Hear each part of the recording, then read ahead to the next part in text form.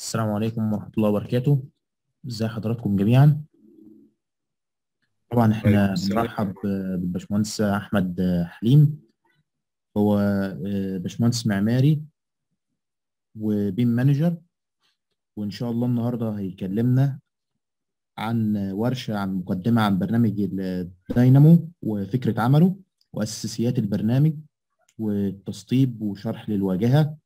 وهتكون إن شاء الله ورشة ممتازة وجميلة إن شاء الله وهيفيدنا بشيء من خبرات حضرته. آه، باشمهندس أحمد حضرتك جاهز؟ خير أنا جاهز يا فندم. طيب ممكن حضرتك تعمل share screen؟ okay. كده تمام ال share screen واضح. okay. طيب يعني بشكل مباشر بس يعني أنا محتاج برضو يعني يبقى في تفاعل في في في المحادثة لو في أي أسئلة وقفوني لو في أي استفسار أو أي حاجة مش واضحة برضو وقفوني.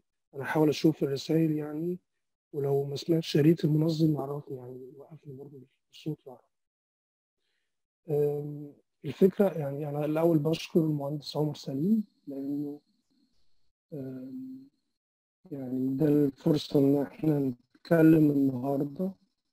أنا شايف إن في كتير يعني أساسا مشتركين فده شيء ممتاز وأتمنى إنها تبقى يعني session مفيدة للكل فأنا بشكر المهندس عمر سليم إنه اداني الفرصة دي وإن شاء الله يعني بناء على كده لو في آه، لو في آه، لو في رد فعل إيجابي من دي ممكن نكمل تاني يعني اتنين وتلاتة وأربعة ممكن الله أعلم.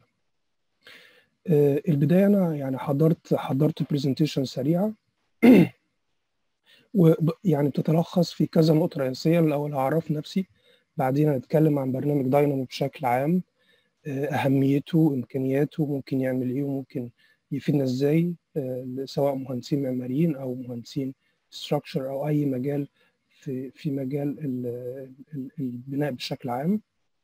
بعدين هنتناقش بسرعة فكرة البرمجة المرئية أو ال visual programming لأن هي دي اللي بي يعني بيقوم عليها آه، فكرة البرنامج.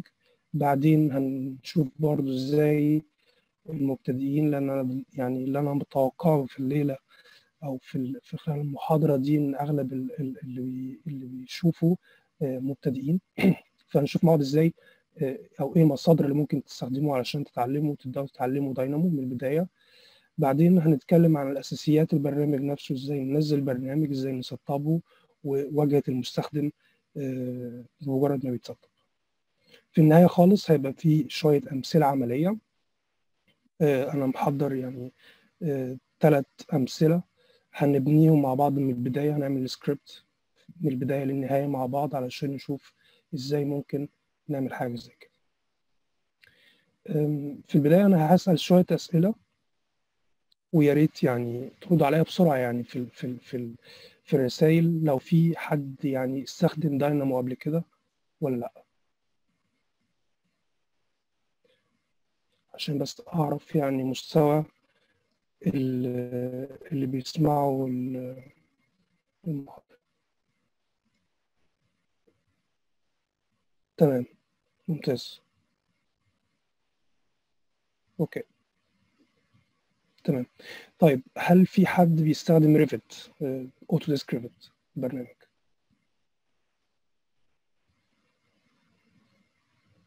تمام. ممتاز.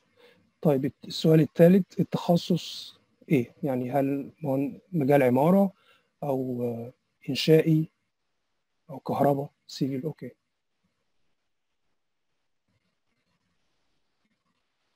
تمام ممتاز. طيب شكرا. آه، من خلال يعني من خلال الردود اللي أنا شايفها أنا شايف إنه آه، يعني إن شاء الله نعرف آه، نستفاد على الأقل المقدمة الليلة. الأغلب ال ال ال يعني اللي بيشوفوا معماريين فده شيء كويس لأن أنا مهندس معماري. بس طبعا ده ما يمنعش إنه يعني آه، هنتكلم طبعا برضو على ال- الإمكانيات اللي ممكن البرنامج يفيدها للتخصصات المختلفة. آه، بالنسبة لي آه، بالنسبة لي أنا بقى أنا هبدأ مباشرة أتعرف بنفسي. أنا اسمي أحمد حليم. أنا مهندس معماري وبشتغل BIM manager في شركة اسمها AIA Associés في مدينة باريس في فرنسا من 2016 قبل كده اشتغلت في القاهرة لمدة ثلاث سنين كمهندس معماري بس لكن بعدين تخصصت في ال BIM هنا في فرنسا. الشركة بتاعتنا أغلب مشاريعها مشاريع مستشفيات فبالتالي مشاريع حجم كبير. وهنا في فرنسا الملاك ملاك المشاريع بيهتموا جدا بفكرة ال BIM وبيبقى لها يعني بيبقى لها جزء كبير من ميزانية المشروع علشان المشروع يتم بشكل كويس ويوصل للنتيجة المطلوبة. أنا برضو ألفت كتاب في برنامج الداينامو بالتعاون مع شركة Autodesk وشركة نشر اسمها Le Moniteur هنا في فرنسا. ده حسابي على LinkedIn لو حد حابب يتابعني أو يتواصل معايا من خلاله. طيب أنا هبدأ مباشرة دلوقتي في فكرة البرمجة المرئية. برنامج داينامو ده برنامج تم تطويره تقريبا 2013 عن طريق فريق مبرمجين في شركة Autodesk البرنامج بيشتغل على Revit يعني أكتر استخدامه دلوقتي على برنامج Revit اللي هو برضو من إنتاج شركة Autodesk لكن برضو في في شركة في برضو برامج بتستخدم تاني داينامو زي Civil 3D زي FormIt و 3D Max برضو. في كذا version من برنامج داينامو بتشتغل مع برامج مختلفة. النهارده هنتكلم عن Dynamo ل Revit مش هنتكلم عن البرامج التانية. برنامج داينامو دي أداة مفتوحة المصدر أو open source بمعنى إنه ملهاش license فبالتالي هو يعني أي حد يقدر يستخدمه بشكل مجاني. في منه نوعين في منه نوع لازم يستخدم لازم يتم استخدامه مع برنامج من برامج Autodesk فبالتالي انت لازم تشتري برنامج Autodesk Revit مثلا عشان تقدر تستخدم برنامج داينامو أو تستخدم Dynamo Sandbox وده بيشتغل كبرنامج لوحده يتم تصميمه فكرة إن هو open source دي برضو معناها إنه أي حد يقدر يعمل تطوير على البرنامج نفسه يقدر يعمل إنتاج لحاجة اسمها packages زي حاجات بسيطة بحيث إنه المستخدم يقدر يوصل لنتائج أفضل عن طريق استخدام البرنامج. برنامج داينامو زي ما شايفين هنا في الصورة على الشمال شبيه جدا ببرنامج Grasshopper وبرامج تانية بتستخدم نفس فكرة العمل وهي اسمها ال visual programming ال visual programming هنتكلم عليها بعدين يعني في slide بعدين بالتفصيل لكن فكرتها بتقوم بشكل أساسي على استخدام nodes و wires بفكرة إنه إحنا بنبني ال logic بنبني ال ال ال logic اللي إحنا هنستخدمه في حل المشكلة. بن بدل ما بنكتب كود بدل ما بنعمل برمجة نصية نعمل برمجة بشكل مرئي فبالتالي بيبقى بشكل أسهل لينا لأن إحنا مش متخصصين في مجال البرمجة. أغلبنا مش متخصصين في برامج البرمجة فبالتالي الطريقة دي أسهل بكتير إن إحنا نكتب نص ونتم أو أو نقوم بتطبيقه في برنامج ال Revit برنامج Dynamo Revit بيتيح للمستخدم إنه يشتغل بشكل مباشر مع أي model Revit بمعنى إنه لو عندي مبنى عمارة مبنى مستشفى أنا بقدر من خلال من خلال برنامج الداينامو إن أنا أتعامل مع بشكل مباشر وأتواصل مع بشكل مباشر مع الموديل بتاع ال Revit أقدر إن أنا أغير حاجات أقدر إن أنا أضيف حاجات أقدر إن أنا أمسح حاجات كل ده بيقدر أو كل ده بيتم عمله بشكل مباشر في ال Revit. في حد بيقول إنه يعني نقدر نسجل زي ال macro في ال Excel. بالظبط بالظبط كده. هي شبيهة جدا بفكرة ال macro لكن فكرة الداينامو ان انت يعني مش مش مطلوب أو مش لازم تكتب كود زي ال macro. ال macro انت لازم يبقى عندك خلفية في ال Visual Basic مثلا لكن في داينامو الموضوع بيبقى بشكل أسهل بكتير عن Visual Basic أو Python أو C Sharp أو أي لغة برمجة نصيه آه بعدين فكرة ال visual sorry فكرة ال visual programming أو البرمجة المرئية زي ما زي ما شايفين هنا مثلا. نزل الصور دي. آه هنا في الجزء الأعلى من ال slide ده صورة من داينامو ودي طريقة تطبيق البرمجة المرئية في داينامو. آه لكن الصورة اللي تحت أو الجزء اللي تحت دي آه دي البرمجة النصية. فزي ما شايفين هنا مثلا إحنا هنا في في الكود اللي هو النصي إحنا كتبنا الكود علشان في النهاية نوصل إن إحنا نعمل نقطة عشان نرسم نقطة. في في أي واجهه مستخدم لأي برنامج ثلاثي الأبعاد. لكن علشان نعمل النقطة دي في داينامو فإحنا بنستخدم فكرة مختلفة لكن بتأدي في النهاية لنفس النتيجة وان إحنا بنستخدم حاجة اسمها nodes وبنبدأ نوصل ال nodes دي ببعضها وفي الآخر بنوصل لفكرة النقطة برضو اللي إحنا عايزين نرسمها. فبدل ما يعني المستخدم بيكتب نص أو بيكتب كود بناء على API معين لا إحنا في في nodes موجوده أساسا في البرنامج تم يعني برمجتها من خلال الناس اللي هم طوروا البرنامج. إحنا كل علينا إن إحنا نتخيل ال logic أو المنطق أو المشكلة بتاعتنا إزاي نحلها وبنبدأ نبني بناء عليها ال script Dynamo. لما بنتكلم عن ملف داينامو إحنا بنقول سكريبت هي دي فكرة أو اسم الملف الداينامو بيبقى سكريبت فعلشان نعمل سكريبت إحنا بنستخدم حاجة اسمها nodes اللي هي اللي هي المربعات أو المستطيلات دي وعلشان نوصلهم ببعضهم ففي الآخر نوصل نتيجة في الآخر. فدي فكرة ال visual programming هل دي واضحة لكل الناس ولا في في حاجة مش واضحة لحد دلوقتي؟ آه لا أنت مش محتاج يكون عندك خلفية خالص عن عن البرمجة. على الأقل أنت لازم تكون مستخدم كويس ل Dynamo sorry ل Revit.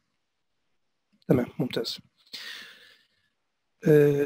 بعدين إيه إمكانيات برنامج Dynamo؟ Dynamo إيه أهميته؟ ليه أساسا يعني الناس أو أو أي حد المفروض يستخدمه تستخدمه ليه؟ لو بتستخدم Revit فأنت أكيد عارف إنه في حاجات كتير بيتم تكرارها آه كل يوم. يعني أنت بتعمل نفس الحاجة كل يوم وبتعمل نفس الحاجة ممكن يعني كذا مرة في نفس المدة اللي أنت بتشتغل فيها على الموديل بتاع ال Revit فدي بيسموها بال English repetitive task. بمعنى إنك أنت مثلا كل يوم عايز تعمل views تعمل في في برنامج Revit عايز تعمل duplication لل views عايز عايز مثلا تعمل view للدور الأول و view للدور الثاني وعايز تعمل تكرار للعمليات دي كل يوم بشكل متكرر. ف داينامو مفيد جدا للحاجات دي. فكرة إن إحنا بنعمل نفس الشيء كذا مرة لكذا مشروع أو لكذا file Revit Dynamo ممكن يساعدنا كتير إن إحنا نكسب وقت ونعمل automatization لل... لل... للمهام اللي إحنا بنشتغل بيها في Revit نقدر برضو من خلال داينامو إن إحنا نوصل لملفات ال Revit ومحتوياتها بسهولة إن إحنا بنقدر نتعامل مع قاعدة البيانات أو ال database بتاع أي file Revit بشكل مباشر من غير ما ندور بشكل يدوي جوه الموديل نفسه. لا إحنا من خلال داينامو ممكن نعرف كل المعلومات اللي تخص ال file Revit النقطة الثالثه إن إحنا برضو ممكن نطور استخدامنا لكن يعني دي دي نقطة يعني متطورة شوية في استخدام البرنامج. لكن دلوقتي في Revit 2021 تم إضافة خاصية جديدة إن إحنا نقدر نستخدم script Dynamo. إن إحنا نعمل حاجة اسمها generative design بمعنى إن إحنا نقدر نولد أو نعمل design options كتيرة أو نماذج تصميمية جديدة بشكل اوتوماتيك بمعنى لو أنا مثلا عندي شقة وحابب أعمل كذا فكرة تصميم للتصميم الداخلي بتاع الشقة الطريقة اللي أغلب الناس بيستخدموها لحد دلوقتي هي الطريقة اليدويه بمعنى إن أنا بفكر وحابب إن أنا أحط الحمام هنا لا أوضة النوم هنا لا الصالة هنا أو أو ايا كان طريقة التفكير. لكن دلوقتي مع داينامو generative design إحنا بندي برنامج المشروع لداينامو وداينامو بيدي لنا حلول مقترحة بشكل أوتوماتيك. وإحنا نقدر بقى نطور كل فكرة على شكل بشكل منفرد علشان نحسن منها أو نوصل لشكل أفضل. الحاجة الأخيرة برضو دي يعني اللي بيتم استخدامها بشكل كبير في داينامو هي فكرة إن إحنا بنتواصل مع البرامج الثانية زي مثلا اكسل فنقدر بسهولة إن إحنا نعمل نعمل تصدير أو export للمعلومات اللي موجودة في file الريفت لبرنامج اكسل وبرضه نقدر إن إحنا نعمل استيراد أو نعمل import من من برنامج اكسل لبرنامج ريفت برضه بسهولة. وبرضه نفس الكلام بينطبق على برامج أخرى زي سكتش اب زي 3 دي ماكس زي زي الناس اللي بتستخدم مثلا اي اف سي كنوع file ات علشان تتواصل مع اللي بيشتغلوا في المشاريع. أو برضو إن إحنا نقدر نعمل export صور كل حاجة بنقدر نعمل نقدر نوصل لها بسهولة عن طريق برنامج داينامو في حد بيقول الصوت بيقطع. هل هل الصوت بيقطع عند الكل ولا ولا بيقطع بشكل بشكل كبير ولا شكل بسيط ولا إيه؟ عايز أفهم بس لأنه okay. طيب أنا طيب هنكمل خمس دقايق ولو لو لو الصوت بيقطع أنا هضطر إن أنا أوصل الكابل. تمام. هخش بعدين في فكرة إزاي إن إحنا نبدأ نتعلم داينامو. من أول مصادر المستخدم الجديد إن هو عايز يتعلم داينامو في موقع اسمه داينامو برايمر.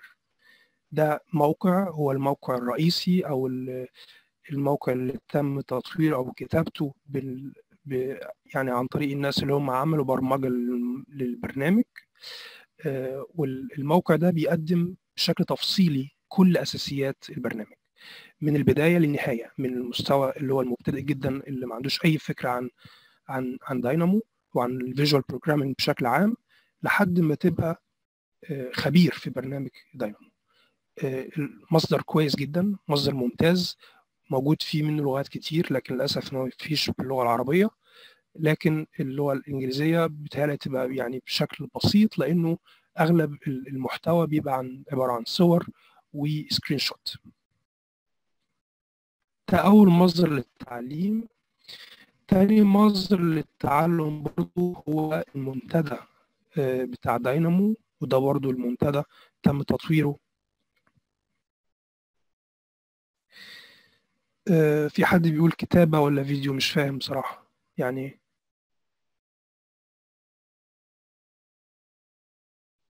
آه الشرح لا الشرح كتابة. الشرح كتابة فقط. لكن بيتهيألي برضو في في عندهم قناة على اليوتيوب وفيها بعض الشرح لكن مش شرح تفصيلي.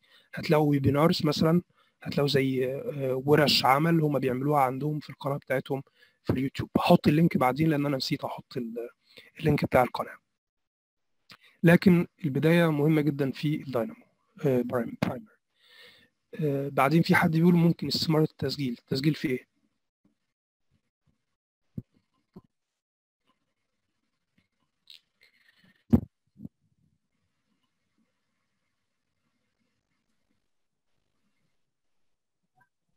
طيب أنا هكمل لو في برضو أسئلة أرد عليها بشكل سريع. تاني مصدر للتعلم هو منتدى داينامو وده منتدى برضو يعني اللغة الرئيسية فيه هي اللغة الإنجليزية. لكن ده مكان ممتاز جدا لأي حد عنده أسئلة إن هو مبتدئ في البرنامج ومش فاهم حاجة بيخش تسجل التسجيل بشكل مجاني وتقدر تسأل السؤال والناس ترد عليك سواء مستخدمين مبتدئين زيك أو خبراء في في البرنامج. ثالث مصدر للتعلم وده ممتاز بصراحة. أنا شخصيا اتعلمت منه كتير جدا وهو جامعة أوتوديسك أو أوتوديسك يونيفرسيتي وده موقع برضو بيتم تنظيمه سنويا أو حدث بيتم تنظيمه سنويا عن طريق شركة أوتوديسك ومش متخصص فقط في الداينامو لكن بيبقى فيه ورش عمل كتيرة جدا بتتكلم عن داينامو وفكرته الرئيسية إنه بيبقى في ناس مدعوين بيعملوا آه زي آه فيدباك أو بيشرحوا إزاي هم بيستخدموا داينامو في مشاريعهم أو في شركاتهم. ففي يعني في آه تقدروا تلاقوا مثلا حاجات من 2012 لحد 2021 دلوقتي. فكل سنة تقدروا تلاقوا فيديوهات ودي عبارة عن فيديوهات مدتها توصل مثلا ساعات ساعة ونص ساعتين على حسب الموضوع اللي بيتم شرحه. تقدروا تشوفوا الفيديو بيبقى فيه برضه ترجمة بالإنجليزي. بعض الأوقات تقدروا تحملوا ال presentation أو ال file ات اللي تم استخدامها في العرض فدي دي بالنسبة لمصادر التعلم الداينامو آخر حاجة هي المجموعات المستخدمين ودي حاجة يعني موجود منها في مختلف دول العالم إنه في كل مدينة بيبقى في مجموعة لمستخدمين البرنامج.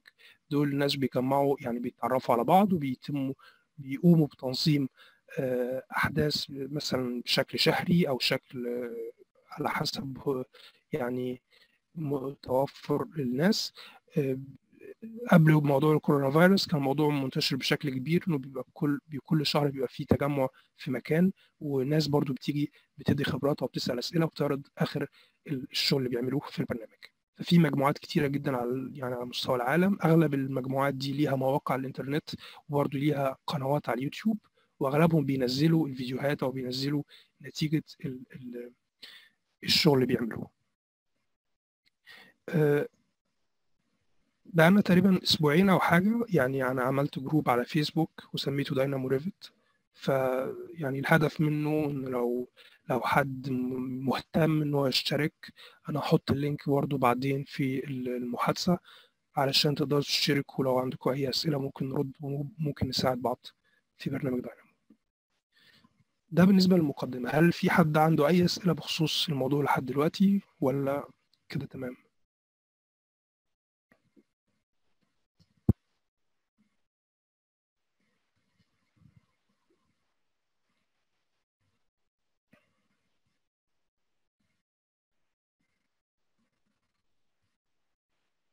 تمام ممتاز.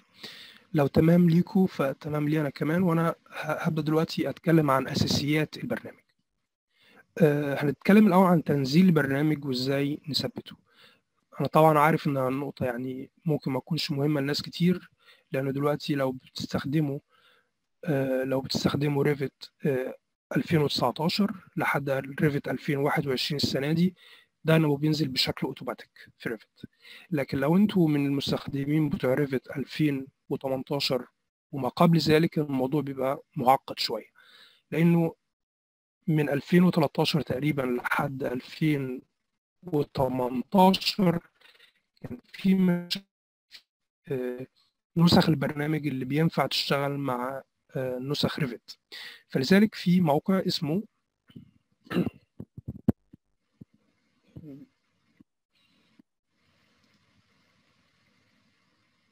موقع اسمه داينامو بيلدز. ده من خلال الموقع ده لو أنتم مستخدمين ريفت 2013 لحد ريفت 2018 لازم بيبقى في نسخة معينة من ريفت ينفع تشتغل معاكم في البرنامج. فالفكرة إن كنتوا لازم تعرفوا إيه النسخة الداينامو اللي ينفع تشتغل معاكم وتيجوا هنا الموقع اسمه داينامو بيلدز هحطه حالا في في المحادثة.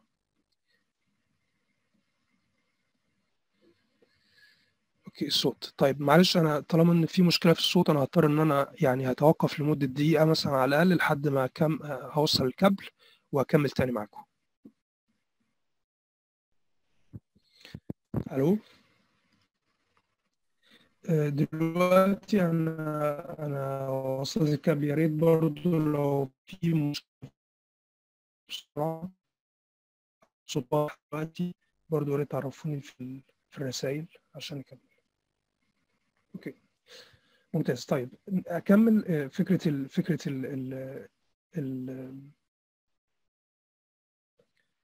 التثبيت أو التنزيل البرنامج. زي ما قلنا قبل كده إنه مش كل نسخ داينامو بتشتغل مع كل نسخ Revit لحد 2018 لكن بداية من 2000 Revit 2019 لحد دلوقتي داينامو بيتم تصميمه بشكل داينامو أو بيتسطب بشكل أوتوماتيك. لكن فيما قبل ذلك لو حابين لو حابين تنزلوا البرنامج فهو من خلال موقع اسمه داينامو بيلدز أنا حطيت الموقع في الشات. الصوت لسه بيقطع. طيب هل هل المنظمين هل عندكم أي فكرة إزاي أعدل فكرة الصوت دي ولا لازم أسيب ال... لازم أخرج وأدخل تاني في Zoom مثلا؟ هو دلوقتي هو الصوت حاليا كويس يا باشمهندس. طيب تمام okay ماشي. تمام okay. آه فكرة الكاميرا برضه ممتازة. طيب آم، نكمل. آم، فعشان نخلص النقطة دي هي فكرة يعني إنه لو حصل مشكلة إن داينامو ما مش شغال في ال Revit بتاعك وعايز تنزل آه، داينامو من الموقع فبتقدر تنزله من خلال موقع اسمه Dynamo Builds التنزيل بشكل مجاني آه، مج- يعني الموضوع ببساطة انه لازم تحدد ال ال version أو الإصدار اللي, اللي أنت لازم تستخدمه وت- وتدوس على ال link اللي هو بالأزرق وهينزل ال file وتقدر إن أنت تسطبه بشكل بسيط وسهل. أنا عامل دلوقتي demo بسيط لكن يعني الموضوع مش هيحتاج اي أي آه، الموضوع مش بيتطلب أي حاجة خالص أكتر من تسطيب أي برنامج عادي. فأنا مثلا لو هاخد أو الاصدار بتاع 2018 أنا هنزل برنامج. البرنامج طبعا مساحته دلوقتي 212 mega فممكن ياخد شوية يعني دقيقتين أو حاجة. لكن بمجرد ما بينزل آه، بت يعني بت- بتسطر برنامج زي زي أي برنامج آه، تاني. الموضوع ما فيهوش أي مشكلة خالص وما فيهوش أي صعوبة. أنا يعني مش هكمل موضوع التحميل ولا التسطيب ونكمل بعدين لواجهة آه، أو أساسيات البرنامج وواجهة المستخدم. دلوقتي أنا عندي Revit أنا فتحت Revit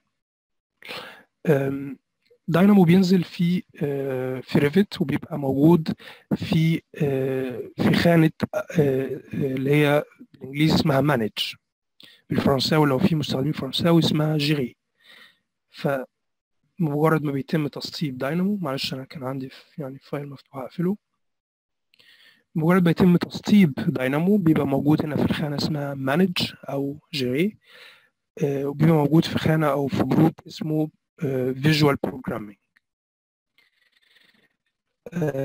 بينزل مع داينامو ده ده دي ال icon بتاع داينامو بيبقى مكتوب داينامو وبيبقى في الصورة بتاعته وجنبه بيبقى في حاجة اسمها Dynamo Player Dynamo Player دي ممكن نتكلم عليها بعدين لكن دي بتتيح إنه المستخدم يقدر يستخدم ال script Dynamo من غير ما يفتح داينامو نفسه. فبالتالي داينامو اللي على الشمال اللي هو البرنامج الرئيسي دي يعني البرنامج ده آه، للناس اللي هم هيعملوا تطوير أو بيعملوا برمجة للسكريبت. ال- اللي هو الجزء اللي على اليمين اللي هو اسمه Dynamo Player ده أكتر للناس اللي هم بيستخدموا السكريبت آه، وما بيعدلوش عليه فبالتالي لو انت أو انت بتستخدم بتشتغل بتشتغلوا مثلا يعني BIM manager في شركتكم فانتوا هيبقى استخدامكم بشكل أكتر اللي هو داينامو على الشمال لكن لما مثلا حابين تبعتوا الداينامو والسكريبت بتاعكم للمستخدمين اللي معاكم في الشركة مثلا أو في المشروع فبالتالي هم هيس- هيستخدموا Dynamo Player لأن هم ما عندهمش خبرة في برمجة الكودات. طيب فهفتح دلوقتي داينامو ونبدأ نتكلم عن واجهة المستخدم والأساسيات بتاعته. آه، ممكن لو داينامو بتفتحوه لأول مرة ممكن ياخد شوية وقت. يعني شوية وقت دول ما بين 30 ثانية لدقيقة مثلا. على حسب آه، على حسب طبعا ال- ال- الكمبيوتر بتاعكم. وعلى حسب برضو المساحة المتوفرة على آه، اللي هو ال C disk C. العامل التالي برضو بيأثر على مدة فتح الداينامو حاجة اسمها packages اللي هنتكلم عليها بعدين. ودي بتبقى حاجات يعني إضافية تم تطويرها من خبراء في داينامو فبالتالي لو في كتير منها داينامو بياخد وقت أطول علشان يجمع ال packages دي بحيث إنه تتفتح مع البرنامج. دلوقتي تقريبا أنا في هيبقى في وبياخد وقت أكتر من اللازم. معلش أنا لازم أو- يعني أوصل على حاجة اسمها VPN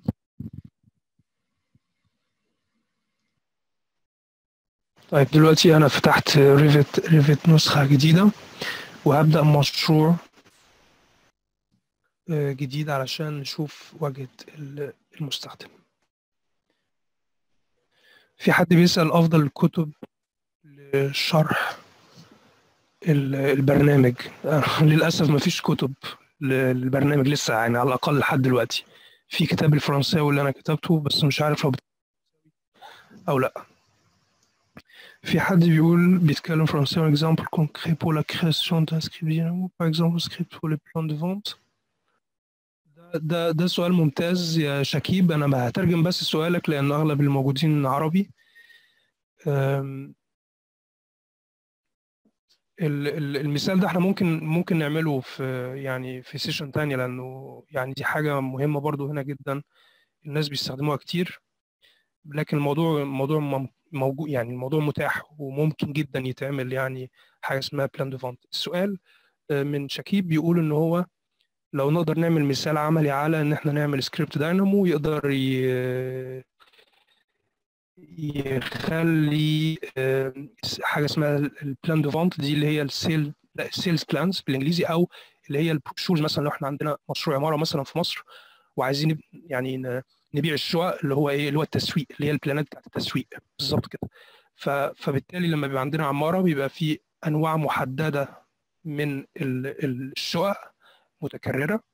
فبالتالي إحنا لازم نعمل آه، نطبع PDF مثلا أو brochures brochures لكل شقة لكل نوع شقة. فده موضوع بياخد وقت كتير جدا من المطورين العقاريين أو من الناس اللي بيشتغلوا في الإنتاج بتاع المطورين العقاريين. لكن نقدر نقدر إن إحنا نعمله بشكل سهل جدا عن طريق داينامو فده أنا ممكن نتكلم الموضوع ده بعدين يعني في في مرة تانية مش مش النهارده. طيب. دلوقتي أنا فتحت داينامو زي ما قلت لكم ببساطة من manage بعدين داينامو. فأنا آه، خلاص دلوقتي أنا في جوه واجهة المستخدم. آه، بمجرد ما فتحت داينامو هو دلوقتي بشكل يعني بشكل مباشر هو مربوط بريفت بمعنى إن أنا لو قفلت ريفت داينامو هيقفل. لكن العكس غير صحيح. بمعنى إن لو قفلت داينامو ريفت هيفضل شغال. لأنه ريفت داينامو في الحالة دي يعني كأنه add-on أو كأنه plugin شغال على ريفت مش العكس. دي أول آه، حاجة. تاني حاجة واجهه المستخدم بتنقسم يعني لثلاث أجزاء رئيسيين. الجزء العلوي اللي هو فيه ال- المنيوز أو القوائم اللي هي الرئيسية اللي بتتيح للمستخدم إن هو يفتح فايلات يعدل حاجة خصوص لواجهه المستخدم يظهر أو يخفي حاجات. حاجة اسمها الباكجز دي هنتكلم عليها بعدين واللي هو ال settings بتاعت ال settings بتاعت البرنامج أو آه، تطبيقات البرنامج. وآخر جزء اللي هو بخصوص ال help أو المساعدة. من هنا بنقدر إن إحنا نفتح ال examples اللي هي بتيجي بشكل أساسي مع داينامو. مجرد ما بيتم تنصيبه بيجي مع أمثلة تم أساسا عملها قبل كده. فدي بتتيح لك أنت كمستخدم جديد البرنامج إنك أنت تقدر تفتح أي منهم وتشوف آه، إزاي اتعمل. لأنه أغلب الحاجات دي هنشوف واحدة منهم كمان شوية أغلبهم بيبقوا مكتوب عليهم annotations بمعنى مكتوب عليهم الشرح إزاي اتعملت وهكذا. فدي بداية ممتازة جدا ليكم مجرد ما تفتحوا داينامو. بعدين هنا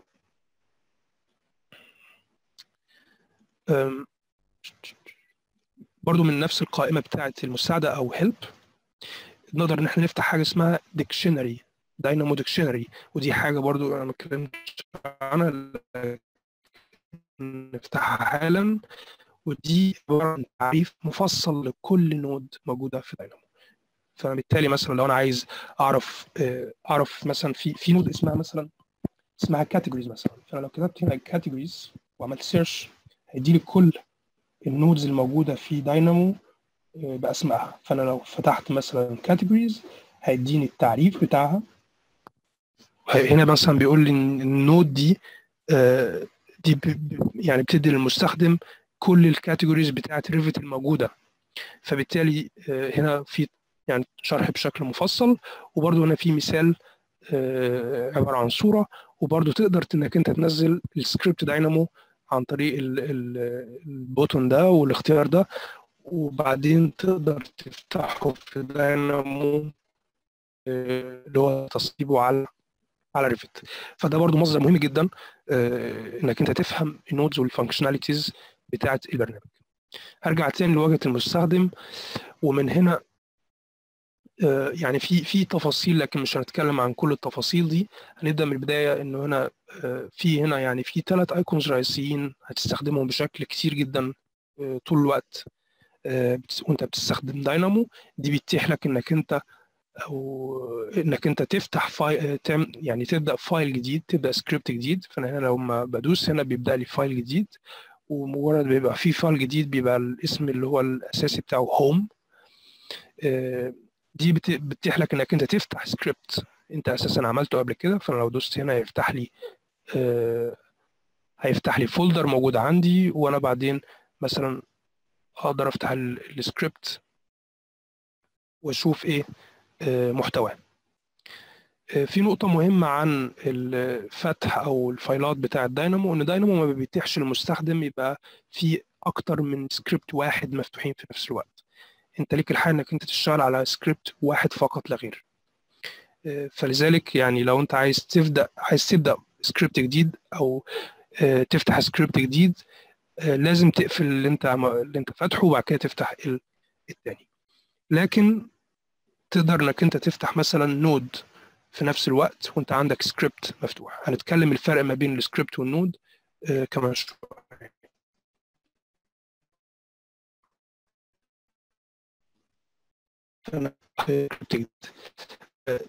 اتكلمنا عن الجزء الموجود هنا فوق. آخر آخر آه icon هنا اللي هي إن إحنا بنعمل save أو بنحفظ السكريبت اللي إحنا آه عملناه. آه بعدين هنا على الشمال غالبا على الشمال دي نقدر إن إحنا نقفلها أو نفتحها ودي هي ال library أو اللي هو المكان اللي موجود فيه ال nodes بتاعة البرنامج. أه تحت هنا دي اللي هي ال packages اللي هي تم تنزيلها من قبل المستخدم اللي بيستخدم داينامو أه تحت هنا خالص دي اللي هو طريقة العمل في ال script Dynamo بيدينا طريقتين إن إحنا بمجرد ما بنعمل سكريبت يا إما إن إحنا لازم ندوس على زرار علشان نقول له يعني اشتغل أو إن إحنا ممكن نخليه بشكل أوتوماتيك فمجرد ما إن أنا أعمل حاجة هنا هيتم التأثير عليها أو عملها بشكل مباشر في Revit الناحية الثانية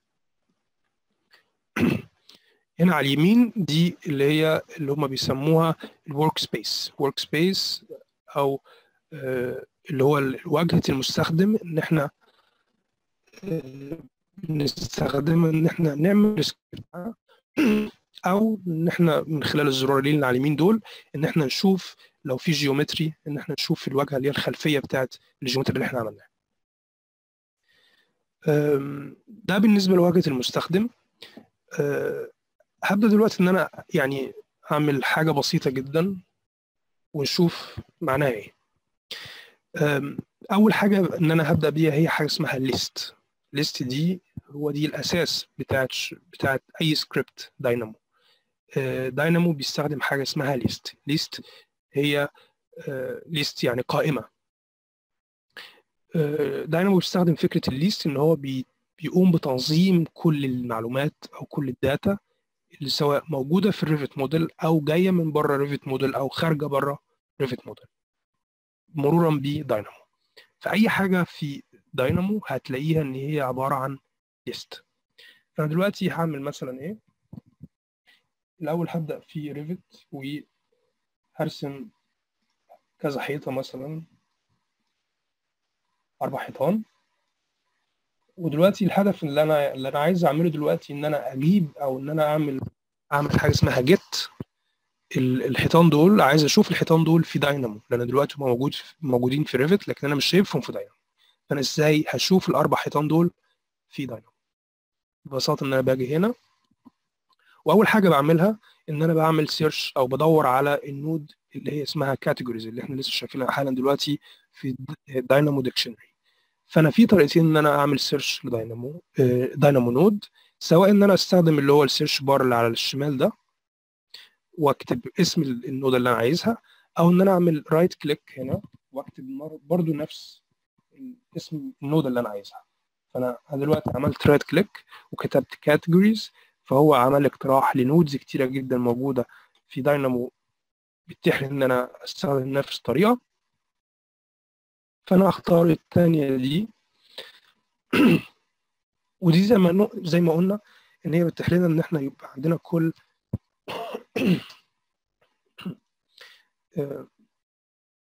بيتيح لنا إن إحنا يبقى عندنا كل ال categories الموجودة في Revit فأنا هنا أختار مثلا حوائط أختار وأختار walls معلش أنا عندي داينامو بالفرنساوي لكن ال يعني ال- ال- الموازي لده هيبقى walls بالفرنساوي murs.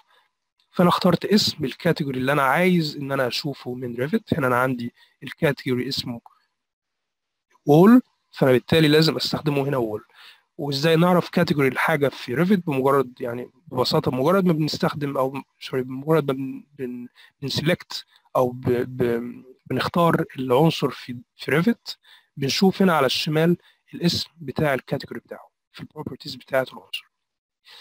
طيب هنا أنا خلاص حددت إنه أنا عايز أشتغل مع ال category walls دلوقتي عشان أكمل أنا لازم محتاج node تانية اسمها all elements. Of category. ودي node آه، آه، هتتيح لي إن أنا أجيب اللي من نفس ال category اللي موجودة في ال Revit model المفتوح دلوقتي. فدلوقتي أنا خلاص أنا عندي واللي أنا لازم أعمله ببساطة إن أنا أوصل ال output بتاعت أول node ببساطة إزاي بدوس هنا على ال output دي وبعدين بكمل وبوصل دي هنا بال input بتاعت ال node الثانية فأنا بدوس هنا وبعد كده بكمل بوصل هنا. فزي ما شايفين بمجرد إن أنا ما وصلت ال output بتاعت ال node الأولانية بال input بتاعت ال node الثانية هنا أنا عندي عندي نتيجة عندي حاجات عندي حاجات ظهرت. طيب أنا ليه ظهرت بشكل مباشر؟ لأنه أنا هنا يعني سايب داينامو على اللي هو النظام اوتوماتيك فبالتالي بمجرد ما وصلت هو فهم وقام بالعملية وجاب لي كل ال- ال- الحوائط اللي موجودة في Revit قدامي هنا. طيب هعمل نفس الحركة لكن من غير آه، ما يبقى اوتوماتيك دلوقتي أنا هوصل يعني همسح دول وهنزل نفس النوز تاني. اعمل سيرش عن categories. وبعدين all elements of category. All elements of category. هنا أختار وبعدين category. لكن هنا طبعا زي ما شايفين ما ادانيش أي نتيجة خالص. اداني حاجة اسمها null null دي معناها إنه ما فيش أي نتيجة. آه، لكن عشان أخلي عشان أخلي السكريبت يشتغل أنا لازم أدوس على execute فبالتالي اداني نتيجة. فدي حاجة. أنا دلوقتي خلاص عرفت إنه في ال Revit model فيه أربع حوائط. طيب نرجع تاني للأساسيات. أنا دلوقتي بمجرد ما اخترت ال category واخترت ال- ال- ال- اللي هو معلش ثانية واحدة. الموبايل بتاعي بيرن.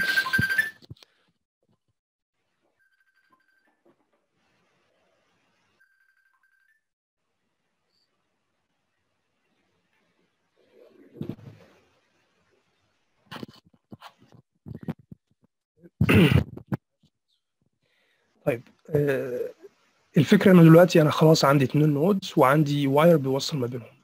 دي فكرة ال visual programming أو البرمجة المرئية. إن أنا دلوقتي بدل ما كنت إن أنا أحول ده بدل ما كنت إن أنا أعمل حاجة زي كده آه، عن طريق كود أو برمجة نصية لا أنا عملتها بشكل مرئي. إن أنا عندي آه، الخاصية الأولانية اسمها categories. والخاصية الثانية اللي هي all elements of categories دي بتخليني إن أنا أعمل حاجة زي كده بشكل سهل. فدي مقدمة بسيطة جدا.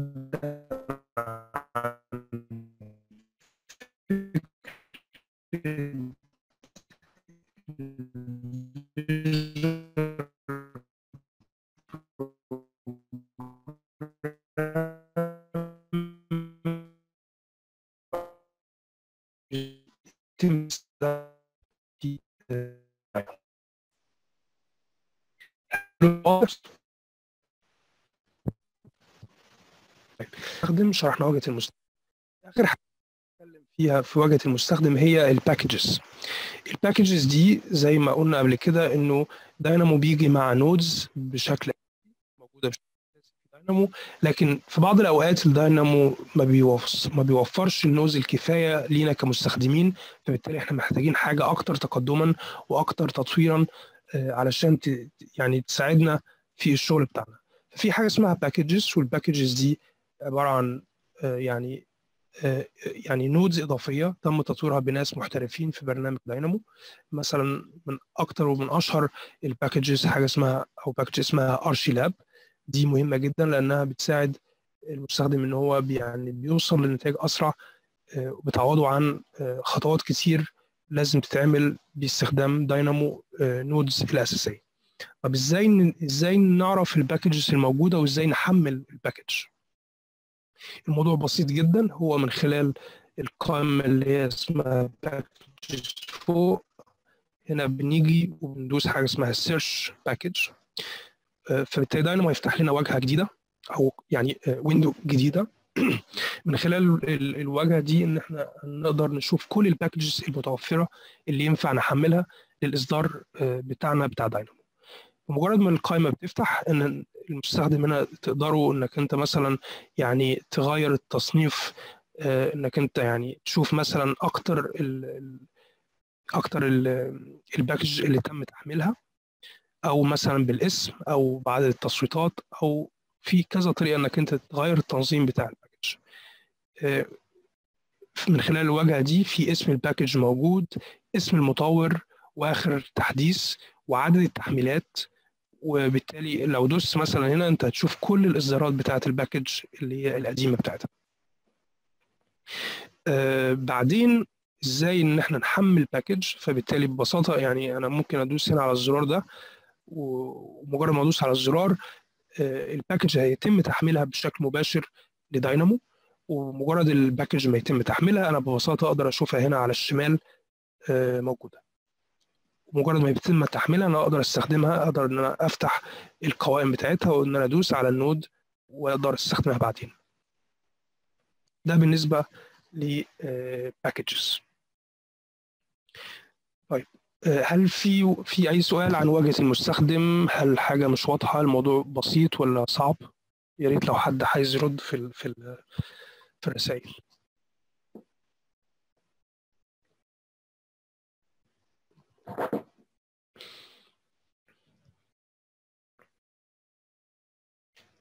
ممتاز. طيب.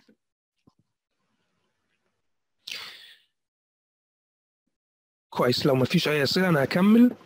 إحنا كده خلاص خلصنا الأساسيات. أه هخش بقى على أه يعني مثال عملي علشان يعني لأن الشرح النظري أنا ما بحبوش وأنا عارف إنه ممل في بعض الأوقات. فبالنسبه للأمثلة العملية أنا يعني هحاول إن إحنا نعمل ثلاث أمثلة مع بعض. مش عارف الوقت هيسعفنا ولا لأ لأن دلوقتي خلاص يعني إحنا خلاص كم يعني بنكمل ساعة. فهنحاول إن إحنا نشتغل على أول مثال بعدين هنشوف الوقت هيساعدنا ولا لأ. أول مثال هنتكلم عليه هو إزاي إن إحنا نربط ملف Excel لداينامو تمام؟ طيب دي حاجة يعني لو لو على حسب يعني فعلا المكان اللي بتشتغلوا فيه أو لأ لكن أنا شخصيا من خبرتي Excel دايما موجود مع المهندسين المعماريين أو المهندسين الإنشائيين أو أي حد في مجال البناء بشكل عام. Excel مد يعني برنامج سهل جدا استخدامه ومفيد جدا في تنظيم المعلومات وهكذا. فبالتالي دلوقتي لما بنستخدم Revit الموضوع بيجي إنه بيبقى صعب أو مش صعب مستحيل أساسا يعني في Revit لوحده. من غير ال plugins المدفوعة إن أنت تقدر تدخل file Excel ل Revit لكن مع داينامو إحنا نقدر ببساطة إن إحنا نعمل link أو نقدر نعمل عملية ربط لملف ال Excel وندخله في داينامو وبعد كده نقدر إن إحنا نستخدم ال data أو المعلومات اللي جاية من Excel علشان نغير حاجات موجودة في ال Revit model. طيب ال concept بتاع استخدام ال Excel بسيط جدا وسهل جدا. آه لما بنيجي نستخدم داينامو إن إحنا نعمل سكريبت إحنا لازم لازم قبل ما نشتغل على داينامو نفكر في الموضوع بشكل آه بشكل منطقي. إزاي إزاي هشتغل على سكريبت لأنه الموضوع في الآخر فكرة منطق. فأنا لازم أتخيل إزاي هعمل السكريبت قبل أساسا ما أعمل السكريبت في داينامو أساسا. طيب دلوقتي السؤال بتاعنا Excel أنا عندي file Excel موجود بره. هشوف يعني هوريكو file Excel موجود.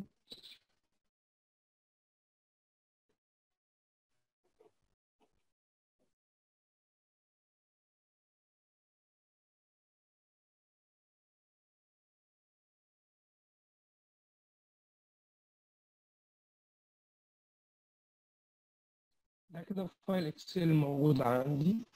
عندي كل المعلومات اللي أنا اللي هي تخص برنامج المشروع. بنتكلم برنامج المشروع قصدنا المعلومات اللي هي تخص عدد الغرف ومساحة كل غرفة لأن دي حاجة مهمة جدا. أغلب الملاك المشاريع لازم بيحددوها قبل أساسا المشروع ما يبدأ.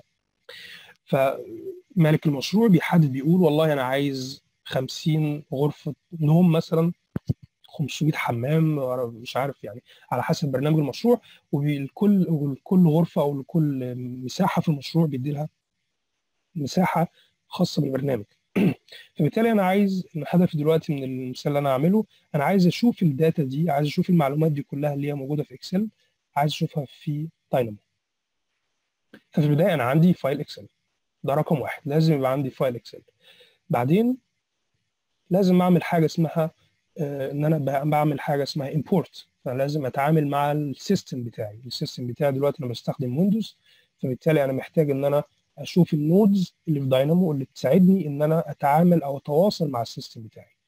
هنا في داينامو على الشمال في ال bibliothèque أو ال library بتاعت ال nodes في حاجة اسمها import and export. من خلال ال cat ال category ده داينامو بيدينا الإمكان إن إحنا نقدر إن إحنا نعمل اتصال ال file system أو اللي هو ال Windows بتاعنا. فأنا لو دوست على import export بعدين file system أنا هنا ادور على node اسمها file path ال node دي اسمها file path بتتيح لي إن أنا أعمل browse أو parcourir إن أنا بس بعمل select أو بختار file من بره Dynamo ال file ده ممكن يكون أي نوع file Dynamo ما بي ما بي يعني ما بيحجرش عليا إن أنا لازم تستخدم أو لازم تعمل select ل file من نوع معين. لا خالص. أنا أقدر إن أنا أعمل select لأي file. طيب في الحالة دي أنا هنا عشان أستخدم دي أنا لازم أدوس على parcourir أو browse لازم إن أنا أشوف ال folder بتاعي. ففي الحالة دي أنا عندي folder هنا. وهعمل select لل folder ال file ده.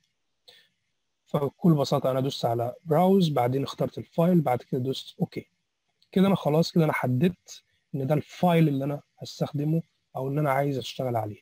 ده رقم واحد. دي خطوة رقم واحد. طيب خطوة رقم اتنين أنا عايز أقول لداينامو أنا عايز أجيب ال file file محدد من ال path ده. ال path معناه اللي هو ال folder بتاعي أو المكان اللي موجود فيه ال file بتاعي. فأنا عشان أعمل حاجة زي كده عشان أعمل خطوة زي كده أنا لازم أستخدم node تانية اسمها file path فال file path node file path موجودة في نفس المكان بتاع ال file sorry معلش في من نفس المجموعة بتاعة ال nodes هنا import and export. أنا هدور على node تانية اسمها file from path. اللي هي ال node دي. فال node دي محتاجة input محتاجة path ك input محتاجة مكان أو محتاجة folder ك input فأنا اللي أنا هعمله إن أنا هوصل دي بدي. فدي تاني خطوه إن أنا إن أنا إزاي وادخل file Excel جوه داينامو أنا عندي file path اللي هو ال folder وتاني حاجة اسمها أنا عايز ال file ده من ال path فاسمها file from path دي تاني خطوة. تالت خطوة إن أنا خلاص حددت ال file بتاعي. أنا هستخدم بقى إيه؟ node اسمها import Excel file ال node دي برضو موجودة نقدر إن إحنا نستخدم نقدر إن إحنا نلاقيها هنا في data من خلال data نقدر إن إحنا نلاقي حاجة اسمها import Excel لما ندوس عليها هي بتدي لنا نفس ال node. دي بتتيح للمستخدم إن أنت تقرأ ال data أو تقرأ المعلومات اللي موجودة في file ال Excel خلاص؟ ال node دي فيها هنا كذا input إحنا محتاجين كذا input محتاجين كذا حاجة نوصلها هنا علشان نقدر نشوف ال data اللي موجودة في ال file ال Excel رقم واحد أنا محتاج أشوف ال file نفسه أو الملف نفسه. فأنا خلاص الخطوة دي أنا عملتها هنا. فأنا هوصل ال file بال output file بال input file وبعدين أنا لازم أحدد ال sheet name. ال sheet name اللي هو في Excel file هفتح ال Excel تاني.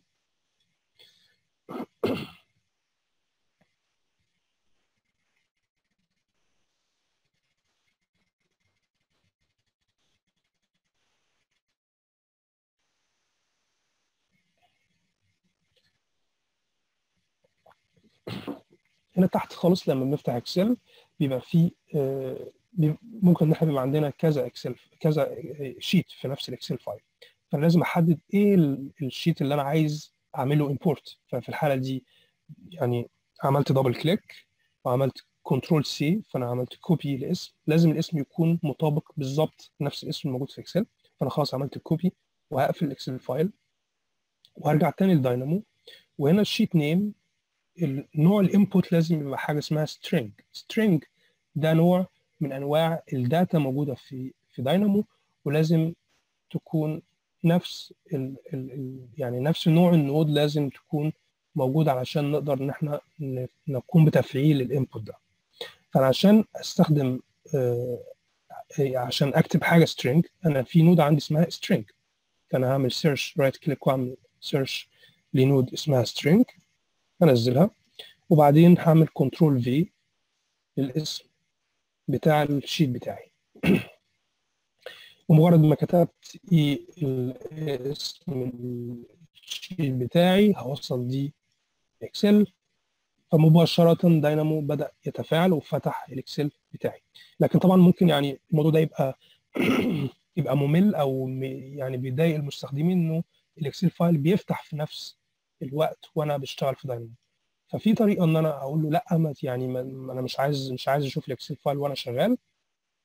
فعشان أعمل حاجة زي كده أنا هنا في عندي اللي هو ال input الأخير اسمه show Excel فلو يعني بشكل تلقائي آه لما بنستخدم Dynamo Dynamo بيعتبر إنه آه مجرد ما بتشتغل مع Excel Excel هيفتح في نفس الوقت. لأنه هنا يعني إزاي عرفنا الحاجة زي كده؟ لما بتيجي هنا وتقف على show Excel بيبقى في حاجة اسمها value by default هنا مكتوبة true. ف true معناه إنه هي... هي... هيظهر Excel في نفس الوقت. طب لو نفترض إن أنا مش عايز أشوفه في الحالة دي أنا لازم أعمل search ل node تانية اسمها Boolean وال node دي بتتيح لي إن أنا يبقى عندي نوعين من ال input سواء true أو false. true معناها يعني أيوه أنا عايز الحاجة دي تتم أو false معناها لأ أنا مش عايز الحاجة دي في الحالة دي أنا مش عايز أشوف Excel فبالتالي أنا هوصل في الأول هختار إنها تبقى false وبعدين هوصل دي ب show Excel فبالتالي هي هتلاقي إن هو قفل ال Excel في نفس الوقت. ده كان Excel ل... يعني هو حب إنه يفتح لكن دلوقتي خلاص مفيش data ظاهرة. طيب. كده خلاص دي يعني الخطوة بتاعتي إن أنا عملت import ل file Excel من بره داينامو لحد دلوقتي علشان أشوف ال data اللي أنا عملت لها import أنا أقدر إن أنا أجي هنا كده لما بخت... يعني لما بقف لما بقف في الماوس على ال... ال... ال node في قائمة بتظهر تحت. لما أجي هنا أنا ممكن أدوس على ال pin وهنا داينامو هيظهر لي كل ال data اللي جاية من فلو فاكرين إحنا قلنا حاجة اسمها list دلوقتي أنا عندي كل ال Excel data اللي جاية من بره تم تنظيمها تم عمل لها import وتم تنظيمها في list موجودة في نفس ال list دي.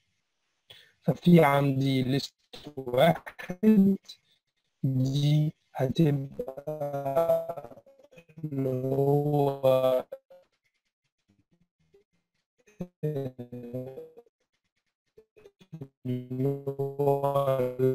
line رقم واحد وعندي ان ده بتبدا منه بتعيش في zero في الأول لو عندي لو عندي اي يعني عندي مثلا دايما ببدا ب zero ما ببداش من واحد فهنا هنلاقي انه zero list دي معناها ان هو اول قائمه جاية من Excel file والرقم zero.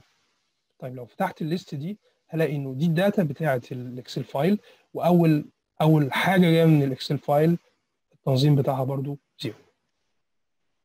طيب أه لحد كده إحنا فهمنا إزاي نعمل import لل Excel file من بره Revit بعدين ال data دي دلوقتي خلاص أنا ممكن إن أنا أستخدمها على حسب طبعا استخدام أو حسب الهدف اللي ممكن إن أنا أستخدمه.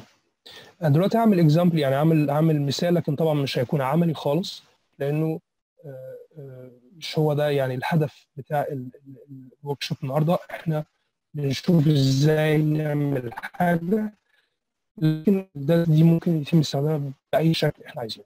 دلوقتي أنا هحاول إن أنا أستخدم أول قائمة من المعلومات دي أغلبها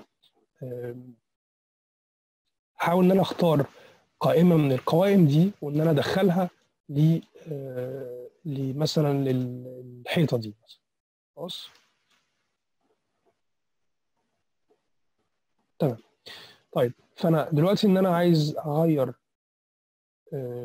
أو الخصائص بتاعت حاجة معينة عن طريق ال data اللي أنا عملت لها import من Excel اللي أنا عايز أعمله رقم واحد إن أنا أعمل حاجة اسمها transpose transpose دي بت بتقوم ب يعني شقلبت كده من الآخر بتشقلب ال data من Excel في داينامو بمعنى إيه؟ بمعنى أنا دلوقتي أنا عم استخدمت ال import دي داينامو عمل import لل data بشكل أفقي تمام؟ لكن المشكلة إنه Revit بيستخدم أو بيفهم ال data أو داينامو بيفهم ال data بشكل رأسي. فأنا عشان أعمل تعديل للنقطه دي أنا لازم أعمل حاجة اسمها transpose transpose دي بتتيح إن هي بتغير اتجاه قراية ال data من Excel فبالتالي بمجرد ما عملت transpose أنا عندي نفس المعلومات اللي جاية من Excel لكن التنظيم بتاعها بشكل مختلف. فدلوقتي عندي مثلا zero list مثلا دي أول قائمة فيها أرقام. تاني list فيها ممكن حروف مثلا على حسب ال data اللي جاية من Excel طيب أنا دلوقتي هحاول أستخدم اللي هو القائمة رقم واحد دي و يعني هنعمل ممكن نعملها إيه؟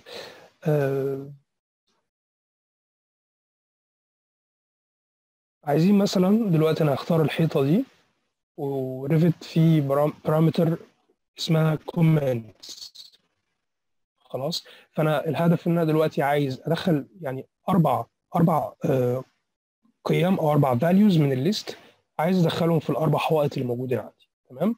من غير ما امسك الحيطه في Revit ومن غير ما اعمل اي حاجة كل ده يبقى عن طريق داينامو نفسه طيب عشان اعمل كده أنا لازم الأول ارجع تاني المثال اللي إحنا عملناه اللي هو إزاي ان أنا أجيب الحوائط الأول في داينامو عشان اعمل كده لازم ادور لي ادور على node اسمها categories في الحالة دي برضو نفس الكلام اختار الحوائط اللي هو ال category بتاع الحوائط. بعدين هعمل all elements of category علشان أجيب كل العناصر بتاعه الحوائط اللي موجودة في ال Revit model. فدلوقتي خلاص أنا عندي ال Excel file وال data بتاعته وعندي الحوائط اللي موجودة في Revit والمعلومات بتاعتها برضه دلوقتي أنا لازم أحدد نوع أو اسم ال parameter اللي أنا عايز أغيرها في الحوائط. عشان أعمل كده أنا لازم أدور على node اسمها set parameter. By name. ال node دي بت بت بتسمح لي أو بتتيح لي إن أنا أغير خصائص أي حاجة في Revit لاستخدام داينامو فببساطة هنا أنا محتاج ثلاث inputs أول input أنا محتاج ال element اللي أنا عايز أعمله تعديل عايز أغير الخواص الخصائص بتاعته. فبالتالي أنا هاخد ال output بتاعي اللي هو في الحوائط اللي موجودة في ال Revit file وهوصلها ل element تاني input بتاعي هو ال parameter name أنا لازم أحدد اسم ال parameter اللي أنا هعدل أو أغير الخصائص بتاعتها. في الحالة دي أنا هستخدم برضو ال parameter أو ال node string لأنه ال input لازم يكون string. بنعرف كده إزاي؟ لازم نيجي هنا ونقف على ال input وهنشوف إنه مكتوب string تحت على الشمال. في الحالة بتاعتي ال parameter اسمها commentaire أو comments فأنا هوصل اسم ال parameter بال parameter name كده أنا فاضل عندي ال value اللي أنا ال value الجديدة أو ال ال القيمة الجديدة إن أنا هعدل بيها العنصر أو الحوائط في Revit. في الحالة دي إحنا قلنا إن إحنا نستخدم أول قائمة من ال Excel file لكن المشكلة دلوقتي إن عندي قوائم كتير من Excel file في الحالة دي علشان إيه القائمة اللي أنا هستخدمها من Excel file أنا لازم أستخدم node جديدة اسمها get item at index. ال node get item at index دي بتتيح لي إن أنا أحدد بالظبط إيه اللي أنا عايز أختاره من كل المعلومات اللي جاية من Excel file تمام؟ فأنا في الحالة بتاعتي أنا عايز آخد أول قائمة اللي هي اسمها zero list فبالتالي ال index بتاع القائمة دي اسمه zero ده ده ده ال zero بتاع يعني ده ال index بتاع القائمة دي أو الرقم التنظيمي بتاع القائمة دي هو zero. فأنا علشان آخد أول قائمة فقط أنا عايز آخد ال output بتاعت ال list وأوصلها في ال input بتاع get item at index فده أول input بتاعي. تاني input أنا عايز أدخل الرقم أو ال index بتاع الحاجة اللي أنا عايز أختارها من القائمة دي كلها. في الحالة دي أنا محتاج value أو نوع input اسمه integer. integer دي أو يعني أو رقم دي بتتيح لي إن أنا أدخل قيمة رقمية. يعني مش حروف مثلا مش مش أي حاجة لأ هو لازم بيبقى رقم. فأنا هنا في عندي كذا نود بتتيح لي إن أنا أكتب أرقام. في في input اسمها integer. ففي الحالة دي أنا ممكن مثلا أستخدم دي. دي نود اسمها slide integer slider. ففي الحالة دي أنا ممكن أحرك دي كده وبالتالي هتدي لي يعني قيمة محددة أنا ممكن بعد كده أستخدمها. أو ممكن أستخدم نود اسمها number مثلا. دي برضو في نفس الوقت أنا ممكن هنا أكتب ال index اللي أنا عايزه وهوصله هنا وهيديني نفس القيمة اللي أنا عايزها. دلوقتي أنا هستخدم ال node number فانا هنا عايز يعني القائمة رقم zero فأنا هكتب هنا zero وبعدين هوصل دي ب index. مباشرة داينامو إداني فقط القيمة أو ال ال ال الحاجات اللي جاية من إكسل الداتا اللي جاية من إكسل اللي موجودة فقط في أول قائمة و هلاحظ كده كمان من عن طريق ال total number اللي هو موجود تحت على اليمين. هنا أنا عندي كل المعلومات اللي جاية من اكسل 98634 لكن دلوقتي أنا عندي فقط 2901 قيمة. بس كده كده أنا حددت بالظبط إيه اللي أنا عايز أستخدمه الإكسل file وحددت إن أنا عايز أعدل ال parameter اللي اسمها comments للحوائط اللي موجودة في الريفت file بتاعي. كل اللي بقى عليا إن أنا يعني إن أنا أوصل القيمة دي بال input اسمها value مجرد ما أوصل حاجة زي كده مجرد ما أوصل دي بدي ريفت هيبدأ إن هو يعدل المعلومات بتاعة الأربع حوائط بناء على القوائم اللي جاية من اكسل قبل ما أعمل كده أنا لازم أغير ال mode بتاعي ل manual ليه؟ دي مهمة جدا يعني لما تيجي لما تيجوا تشتغلوا على داينامو عادي ممكن تشتغلوا يعني هنا حاجات دي بسيطة إن إحنا بنعمل import ل data إحنا بنوصل حاجات ببعضها. لكن بمجرد ما يبقى في خطوة زي كده إن إحنا بنبدأ نتواصل مع ريفت نفسه أو نبدأ إن إحنا نغير حاجة نغير قيمة أي حاجة في ريفت نفسه الأفضل دايما إنه يكون على manual mode لأنه ما نعرفش إيه اللي هيحصل ممكن داينامو يقفل ممكن ريفت يقفل فبالتالي ممكن تحصل تحصل مشاكل كتير. مش هتلحق إنك أنت تعمل save للشغل بتاعك. فأنا عملت على manual وبعدين دلوقتي أنا هوصل item value وبعدين هعمل execute طيب كده يعني أنا حبيت إن أنا أغير ال ال المعلومات بتاعة ال walls لكن هنا ما مشيش. يعني إداني إداني مشكلة إداني error دي برضو حاجة تاني يعني لازم نتعلمها في داينامو إنه اللون الطبيعي بتاع ال nodes هو اللون الرصاصي الفاتح والغامق. لكن لما لما يبقى في مشكلة في داينامو داينامو بيدي اللون اللي هو البرتقاني أو الاصفر ده بيقول لي إنه في مشكلة في ال process بتاعك في مشكلة في السكريبت بتاعك فأنت لازم تراجع اللي أنت عملته علشان تقدر إنك أنت تكمل الشغل بتاعك. دي حاجة. الحاجة الثانية برضو لما نبص على النتيجة هنا ادانا حاجة اسمها null أو null ف null دي معناها إنه في مشكلة. أنت المفروض إن أنا هنا أنا هنا كنت أتوقع إنه يديني برضو نفس القوائم أو نفس قائمة الحوائط بنفس اللون بتاع اللي هو أخضر وبنفس ال ID بتاع الحوائط علشان العملية تمت صح لكن هنا ما تمتش صح إزاي نعرف المشكلة؟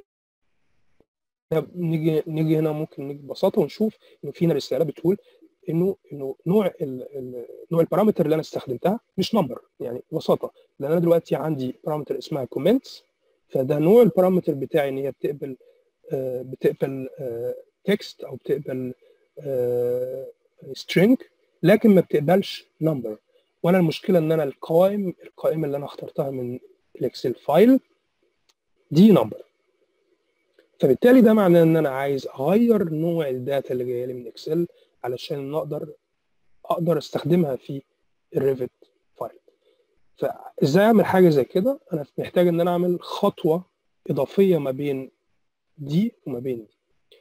فدلوقتي أنا محتاج أعمل حاجة اسمها conversion from string from object. دي نود اسمها string from object. دي بتتيح لي إن أنا أحول أي حاجة من بره داينامو أو حتى جوه داينامو من number ل ل text أو string. فأنا في الحالة دي هاخد ال item اللي هي القائمة اللي جاية من اكسل هوصلها ب object بعدين هعمل execute فبالتالي هنا هو أنا حول لي الأرقام حولها لارقام برضو لكن نوع ال data نفسها string. تمام؟ فدلوقتي خلاص أنا هاخد ال output بتاعة ال node دي واوصلها بال value بتاعة ال node اللي اسمها set parameter by name. وهعمل execute تاني مرة للسكريبت ودلوقتي السكريبت اشتغل. ليه؟ لأنه آه ال data اللي جاية من اكسل كانت مختلفة فأنا غيرت النوع بتاعها خليتها string ودلوقتي وصلت هنا لل value اللي هي آه هتعدل ال parameter اللي اسمها comments طيب إزاي بقى نتأكد إنه ال data فعلا راحت للحوائط؟ هننزل داينامو تحت ونحاول نشوف هن select مثلا أول حيطة وهنشوف إنه في ال parameter comments هنا غير إيه ال value بتاعة ال parameter بالفعل. طيب الحيطة الثانية برضو ادالها قيمة مختلفة. الحيطة الثالثه ادالها برضو قيمة مختلفة وهكذا وهكذا. بس فدي دي نهاية الخطوة بتاعتنا. إن إحنا استخدمنا data جاية من إكسل واستهدفنا أربع حوائط موجودين في الريفت file وعدلنا قيمة parameter اسمها comments أنا شايف إن الوقت اتأخر فإحنا دلوقتي خلاص يعني ساعة وتلت. للأسف مش هلحق إن إحنا نكمل باقي الأمثلة. أفضل إن إحنا يبقى ممكن يبقى فيه يعني ورشة تانية أو مرة تانية نكمل فيها باقي الأمثلة علشان الموضوع يحتاج يعني شغل أكتر من كده وإن إحنا هنفتح أوتوكاد وغير كده فممكن ناخد يعني ثلاث أربع دقايق أسئلة وبعد كده أنا مضطر إن أنا هقفل ونكمل مرة تانية إن شاء الله.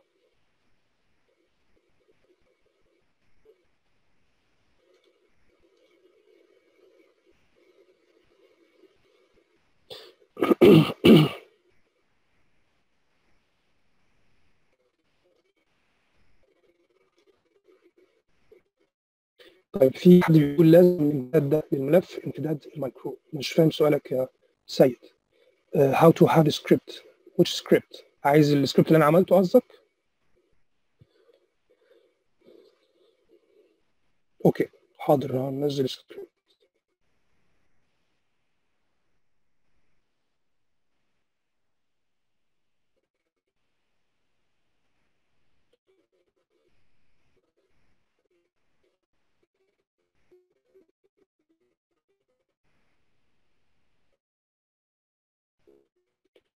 شاء الله يكون في مرة هنشوف تنظيم مع مهندس عمر.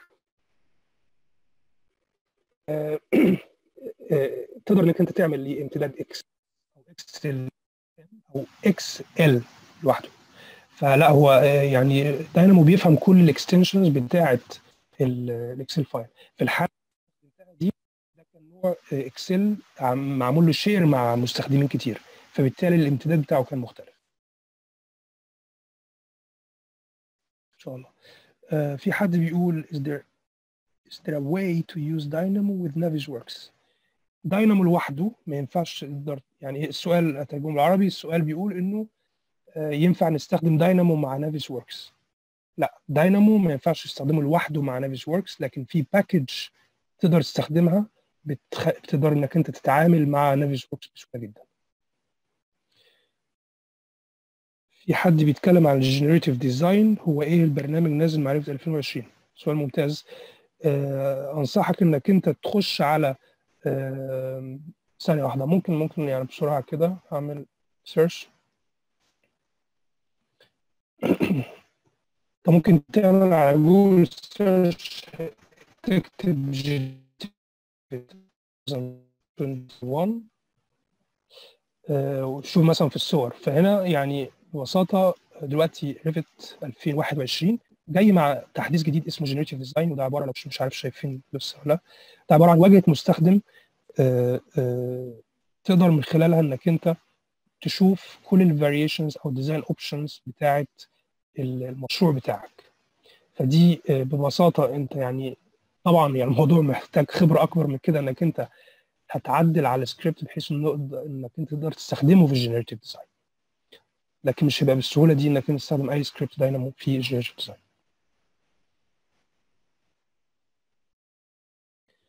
محمود سعيد مع حالا حالا أنا مش يعني مش عارف الاسم لكن أنا خلاص أنا كتبت note وهحطها في ال في ال presentation slide هبعتها للمهندس عمر. وهكتب الاسم بتاعت تمام. أنا متشكر جدا لحضراتكم. معلش يعني طولت ساعة ونص. المرة الجاية يعني هنحاول نخلي الموضوع أسرع بكتير.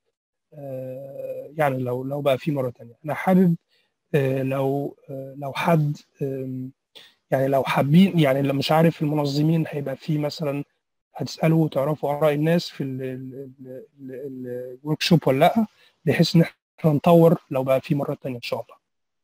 أنا بشكر حضرتك جدا يا باشمهندس والله إحنا استفدنا جدا من حضرتك وبالفعل في تقييم للمحاضرة في في ال form اللي بينزل بتاع تسجيل الحضور بإذن الله. خلاص okay. لو ينفع أنا محتاج أشوف يعني ال form لو بحيث إن إحنا يعني نطور إن شاء الله الجايه أكيد طبعا يا باشمهندس بإذن الله. طيب شكرا وليلة سعيدة. سلام.